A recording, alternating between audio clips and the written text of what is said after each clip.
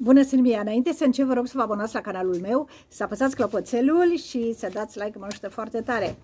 Nu se mai termină telenovela aceea cu Liviu și cu Daria. Nu se mai termină. În continuu doar asta vorbesc. În continuu. Aș vrea să mai aud și eu altceva. Mai sunt și alți concurenți, nu doar Liviu, Daria și uh, asta la altă, cum o cheamă, Bogdana. Ce rost are să tot vorbești de prima zi, a doua zi, înțeleg, dar deja au trecut aproape o săptămână, numai asta aud. Da. Acum au găsit că au zis Lucica, că au zis Daria că e un om de nimic și că n-a făcut uh, mare lucru în viața lui. Așa este. Ce? A zis ceva ce nu e adevărat? Sau adevărul supără pe om? Și Lucica, gata, ai închis subiectul. Păi trebuia să-l fi închis de atunci. Fitul-i de vină, că el le-a încurcat pe amândouă. Că nici pe asta nu iubește. Zice el că e material de soție. Păi dacă zici de ea că e material, o vezi ca pe un material, e clar atunci. Unde sentimentele? Da, dar cine pricepe asta? Că n-are nevoie să ia nimeni apărarea, n-are nevoie de... Cine nevoie are de măsă? Are nevoie de banii ei, să dea bani, că e băiețelul mamei că de asta Daria cântă prin casă și e fericită că se preface, că ea suferă. Eu nu cred că ea suferă. Pentru ce să sufere? Ce a avut și ce a pierdut? Mare băiat. Așa că mai bine că a scăpat de el. Să vedem cum s-o descurca cu cealaltă. Și Adrian uh, vorbește de Liviu cu Daria. Vorbește de sărut, ea spunea că dacă nu simte nimic, nu poate să o facă, dar uite că a făcut-o. Atracție a fost între ei, n-a fost altceva. Că a atras-o, că era vocal. Atât, atât are, atât, că e vocal, în rest nimica. Mie mi-a plăcut de el la început, tot din cauza asta, că vorbea, râdea, era vesel. Mie îmi plac genul ăsta de băieți, optimiști. Dar că e afemeiat, asta nu-mi place. Și mai zice el că a avut el femei ca ea. Păi care altfel de femei să uite la el? Că Bogdan a vrut să-și facă o ambiție, vrea în top, crede că dacă face cuplu și pune în top, ea nu are sentimente, că nici ea nu are sentimente, lasă mai ușor cu sentimentele. Iar Daria spunea că vrea să cunoască toți băieții și Liviu a și găsit, a și găsit uh, repede explicație pentru că îl dă pe Robert exemplu, că și Robert a zis că vrea să cunoască toate fetele, pentru că nu place nici pe una. Păi de asta sunt în casă, să se cunoască. Cel mai bine așa e, mai întâi să cunoască toți, după aia îți alegi, că ai văzut Liviu. Prima dată, gata, ă, Daria e ce trebuie și toate alea și după aia nu mai place, pe aia o place pe aia altă. Păi are dreptate Daria, nu că țin cu ea, că nu, nu am nicio favorită. Mi-a plăcut puțin Ana până să îmbete, nu mai îmi place nici ea. Nu mai îmi place. Așa că Daria ar trebui să se orienteze spre alt băiat pentru că N-are rost să pierde timpul discutând, oricum ea nici nu vrea, oricum nici nu vrea. Nu, nici nu mai vrea. A avut uh, un date foarte frumos cu Andrei, parcă, că tot îi confund pe Andrei cu Adrian cu Andrei. S-au plimbat cu barca, au discutat, uh, s-a simțit bine, a zis că a văzut parcă alt băiat, Așa că ce importanță mai are? A fost, s-a terminat. Nu s-a terminat chiar de mult, dar nici n-a fost câteva zile. Ce? Îi dau dreptate, dar e în cazul de față. El, Liviu, nu e un băiat serios. Mă uit aici că mi-a notat niște lucruri ca să le țin minte.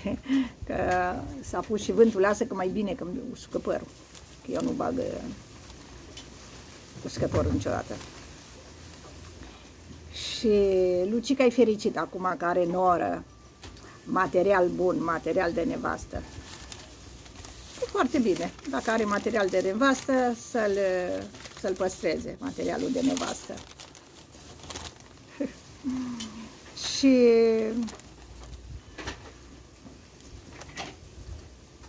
Adrian. Adrian vorbește cel cu băieții despre ea. Păi așa fac băieții. Cunosc o fată, vorbesc cu ceilalți și fetele la fel, fiecare spune părerea lui. Tot zic că e ce grozavă e Daria, dar în afară de gagică, zic și eu, că ei nu cred că o vrea vreunul de nevastă. Mi-a plăcut cum îi spunea lui Liviu, n-ai mai cunoscut, el zicea, am cunoscut femei ca tine, am mai avut și a făcea, n-ai mai cunoscut femei ca mine, el, ba da, ziceau băieții că Daria vrea un băiat puternic și Liviu crede că Adrian nu e potrivit pentru ea. Dar mai sunt și alți băieți, mai sunt. Și chiar zicea, chiar zicea Simona Gherghe, cum se poate că el stă cu Bogdana de mână și să se intereseze foarte tare să discute despre Daria. Chiar zicea că a ajuns expert în Daria și a întrebat-o dacă deranjează, dacă o deranjează lucrul acesta și ea spunea, așa mai cu jumătate de gură, nu mă deranjează, dar o deranjează că se vedea după față, eu la asta mai. Apoi a început să întrebe pe unele, adică pe toate fetele și pe mame, că dacă ar fi în situația ei ar deranja. Unele au zis da, altele au zis nu, mamele cred, mamele cred, bine, în afară de cele două mame implicate, că el încă mai are ceva pentru Daria, dar ea nu cred că să mai aibă ceva, pentru că a și spus că pun punct, pun punct și foarte bine face. El nu e exact un băiat de care pe, pe care să te bazezi așa, să fie ceva de cuvânt. Nu e, absolut deloc. Că ați văzut ce a făcut când le-a încurcat pe amândouă, adică într-o seară le-a sărutat pe amândouă. Nu vrea să pierdă timpul. Și să știți că s-ar putea, cum i-a făcut uh, ei, să-i facă și uh, Bogdanei, pentru că în casă vor mai intra și alte fete. El băia frumos e, păi băia frumos, nu poți să spui că nu este. Așa că de încredere nu e. Anunța Simona Gherghe că intră Marius mâine, joi, un băiat uh, nou, că înalt. Toate fetele curioase și cele din cuplu, bine că nu sunt prea multe în cuplu. Dar nu prea sunt așa fete frumoase în acest sezon. Băieții, da, băieții arată bine toți. Dar uh, fetele și vârsta și nu știu ce au păzit până la 28-30 de ani să nu se căsătorească, că eu la 30 de ani aveam deja 5 copii.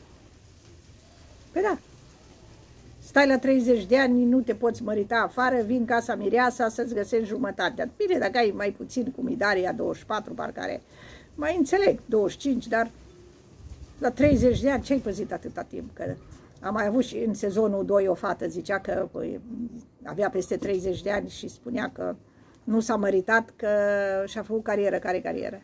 Ce are una cu alta? Sunt vedete care își fac carieră, cântărețe, actrițe mari, nu vorbesc de astea de teatru de doi bani, care au și una și alta. Deci asta nu e o scuză. Nu e. Sergiu și Andreea au avut un date în stil turcesc și au stat de vorbă, banalități aș putea spune, el era dus pe gânduri, de fapt era hotărât. La date, doar i s-a adeverit niște lucruri, dar uh, tot să întreba unii pe alții, tu ce vrei să faci, tu ce vrei. Lui se pare că e rece, că el tot a vrut să o sărute și atunci când au plecat de la acel date. Și ea nu. Și în live a spus că vrea să rupă cunoașterea, să întrerupă, să pună punct. Dar cred că și ea vrea, pentru chiar e rece, cu toate că e brunetă, ar fi trebuit să fie mai focoasă, așa, că eu știu că brunetele sunt mai focoase, dar ea un, e un stil de brunetă rece, brunetă rece. Să vedem ce o mai fi, pentru că da, nu se potrivesc, el e un băiat foarte frumos el, am văzut că să după publicitate, zici că n-au vorbit în pauză și a plecat de lângă ea, nici n-a mai stat lângă ea. Doar care ați urmărit emisiunea, ați văzut. Ați văzut lucrul acesta. Alt nehotărât, amândoi sunt nehotărât. Păi dacă nu s-au plăcut de la început și am văzut-o că e rece, de la început a fost. Atunci ce rost mai are să mai... să mai continue, că a fost un fel de joc. Un joc, un joc aiure așa. Vezi că e rece, vezi că nu te potrivești și tu continui. Să ce? Să ai cuplu, să nu te elimine? Păi foarte mulți, foarte mulți fac asta. Fac cuplu din cauza frica, fricii de eliminare. Ăsta nu mi se pare corect. Chiar nu mi se pare corect pentru că ce are una cu alta. Dacă vrei într-adevăr să fii hotărât și îți place cineva, nu te mai gândești la eliminare. Da ea îi bagă vina că el ține cont de părerea altora, chiar ține cont de părerea altora.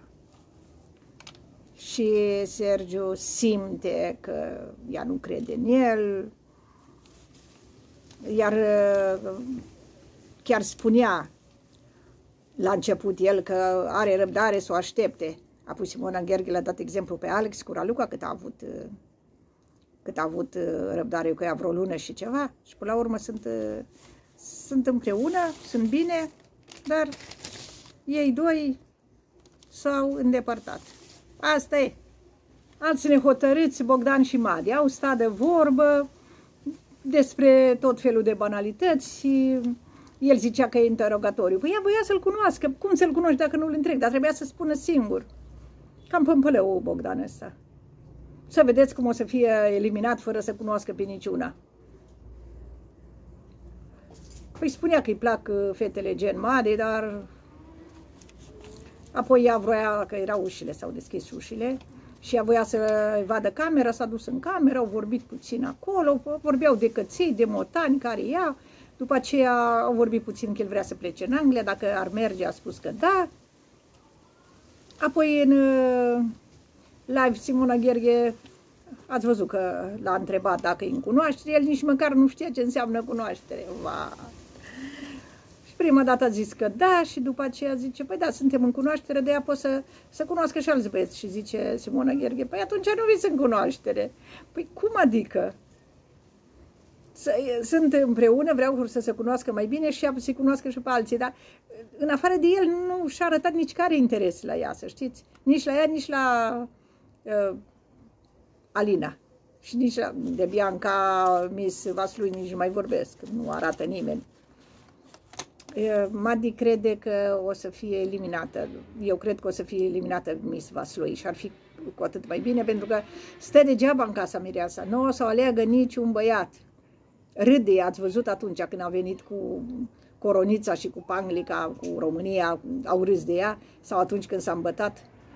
Băieții râd de ea. Să urcase pe Adrian, parcă el nu știa cum să scape de ea. Nu vrea nimeni. Nu vrea cu toate că nu sunt uh, fete frumoase, puțin Ana și Daria, cât de cât, de rest nu. Tot nu vrea. E cea mai, mai puțin frumoasă, să nu zic altceva. Cam atât am avut să vă spun. Vă rog să vă abonați la canalul meu, apăsați clopoțelul și dați like, mă ajută foarte tare. La revedere!